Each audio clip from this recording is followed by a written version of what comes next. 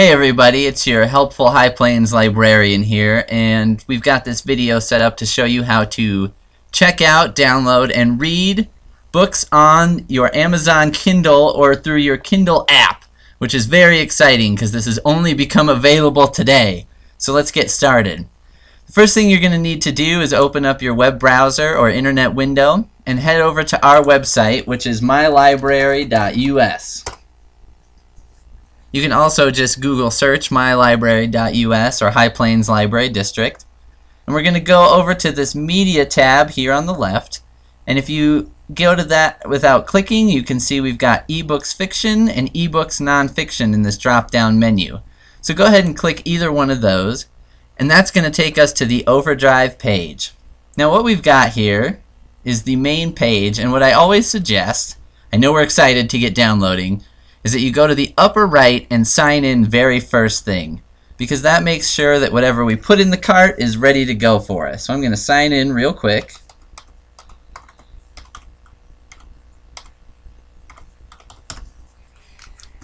And I'm in. I'm going to take us back to this right here, Digital Media Home, so we can see what all is available. Now, the easiest way to find everything that's available for the Kindle is to go to this advanced search click that and you'll see all these options and you can under this format search click Kindle book. If you have that selected and click search this will bring back everything that's available for the Kindle at this time. So you can see right now we've got about 1200 titles available. Now I happen to know that most of them as you can see because it says place a hold are checked out at this time so I'm going to go ahead and go to the very last page and see if we might have something more available. Okay, so here we go. We're going to check out The Fire. So what you need to do, you look at the record for The Fire. Down here, you see Kindle Book, and you can see the little icon of the Kindle.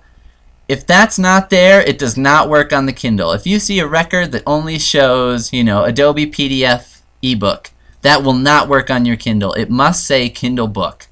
So that's the one I want. I'm going to click Add to Cart. That takes us to a pretty familiar screen. This is just a uh, screen to confirm our checkout and all that.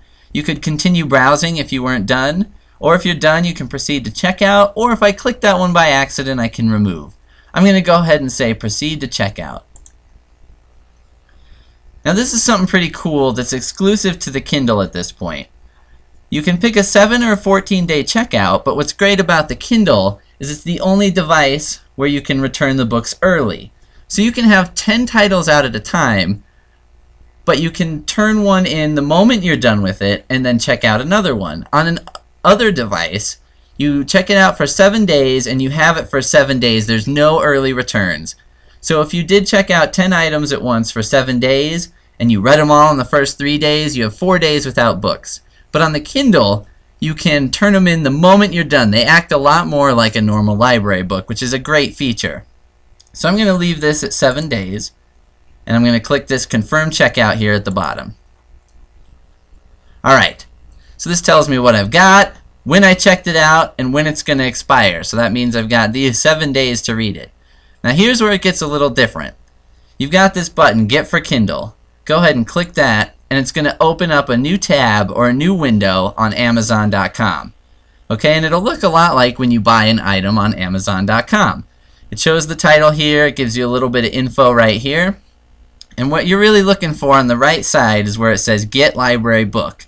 So I'm going to go ahead and click that. And then I need to type in all my credentials right here.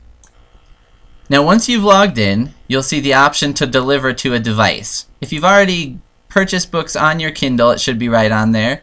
You may also have Kindle Cloud Reader. You can also transfer it from a computer or you can register a new Kindle if this is the very first thing you're doing with your Kindle. So I'm going to go ahead and hit continue.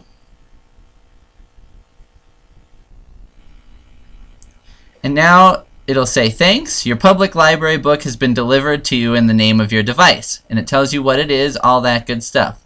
If you wanted to transfer it to a device via USB, you can click download now. But it should be delivered wirelessly to the Kindle. So now we're going to go to the Kindle the next time we have a Wi-Fi hotspot and make sure that it's on there and check all the download settings. So we're going to go ahead and switch over to doing that right now. Alright, so I've got my Kindle, I've got it turned on. Now the one thing you'll have to do is connect to wireless in order to get your book. So what you want to do is hit this menu button here and you'll get this menu like this. You're going to go down almost to the bottom where you've got settings.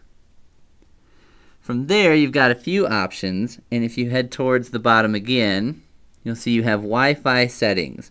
You're going to go ahead and click where it says View there.